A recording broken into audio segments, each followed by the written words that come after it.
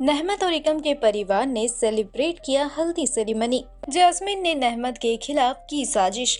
जी हाँ Colors TV के most popular show Udaariyaan के आने वाले ट्रैक में आप देखेंगे कि कैसे नहमत और इकम दोनों का परिवार ही हल्दी सेरेमनी को सेलिब्रेट करते नज़र आएँगे, जिससे आप देखेंगे कि कैसे एक तरफ़ जहाँ नहमत, इकम के नाम की हल्दी लगाती नज़र आएँगी तो वही दूसरी तरफ़ इकम अपने परिवार के साथ सेलिब्रेट करेंगे अपने हल्दी सेरेमनी को, जिससे दोनों ही बेहद ज़्यादा खुश नज़र आएँगे।